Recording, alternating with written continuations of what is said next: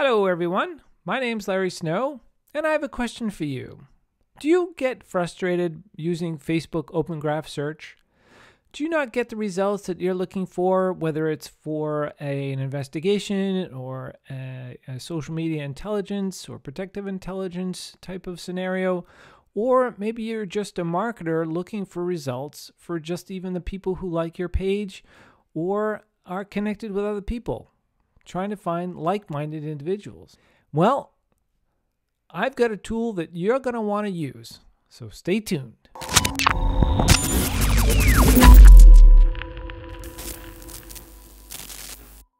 So the tool is actually a Chrome extension. The name of it is called AFS, and it stands for Advanced Search for Facebook. So, like with any Chrome extension, you need a Chrome browser.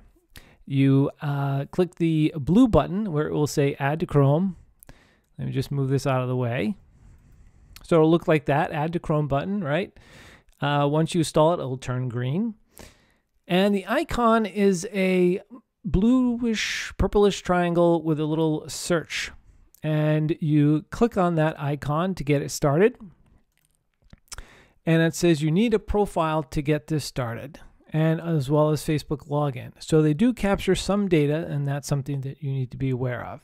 So to get this to work, we got to go over to Facebook, and we got to go over to a profile. So I will go over to my profile, and we'll click on that little blue triangle. And we're going to click on Add Profile, and we'll click on it again and here's all the information that they've gathered on me. Now, I don't know what they do with this data, so that's something to be careful of. Uh, but I think they just show it to you. And and so you can see uh, photos of Larry, pho- uh, photos I've uploaded, uh, videos I've liked, videos I've tagged. Now, you can't you can just do it on yourself, but you can also do it with other people. You go to another person's profile and it will grab all that information. So it'll grab who their friends are. It'll grab uh, the videos the the friends have uploaded, uh, your comments, uh, all of your photos, everything that's associated with that profile. It'll be displayed here for you to click on and then go get that data set. So that's very cool. I haven't seen that anywhere else. Now, if you click on where it says other searches, so you can put in non friends, friends, and friends of friends, or all people, you can do gender, female or male, or both female and male. You can do relationship status, status, single, in relationship, open relationship, engaged and married. You can do job titles. I'm gonna do uh, just keep it simple. All female. Sorry, all not all female. all people. We're gonna do um, male.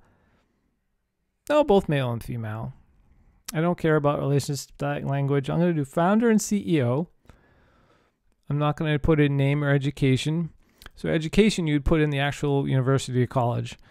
Uh, and if you know the specific name of the person, you could put that in there too. So I'm just going to keep it like that. I'm going to click search. So here are all the people that have founder CEO as their title in the Boston, Massachusetts area. So this is very good information to have from a uh, open source uh, intelligence perspective, social media intelligence perspective, and as well as a marketing perspective, right? You want to find like minded individuals. You want to find people who might be interested in connecting with you.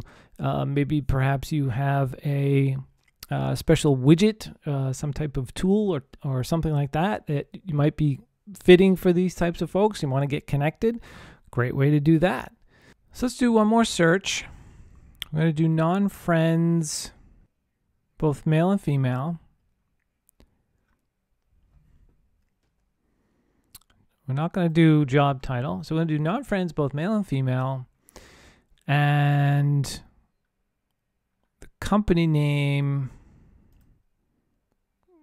current company name is going to be Northeastern University. How's that? To click search. And there we go. So these are all the people who are not my friends, who are in the Boston area, who uh, work at Northeastern University. So, what do you think? Is this a tool you're going to use for your business to find like minded individuals, to find people that might be interested in what you're selling, or maybe they're you're looking for a job and they're hiring, that type of thing? Let me know in the comments below. I appreciate you watching the video. If you liked it, give it a thumbs up. And don't forget to subscribe. For more about me, go to larrysnow.me and I'll see you in the next video.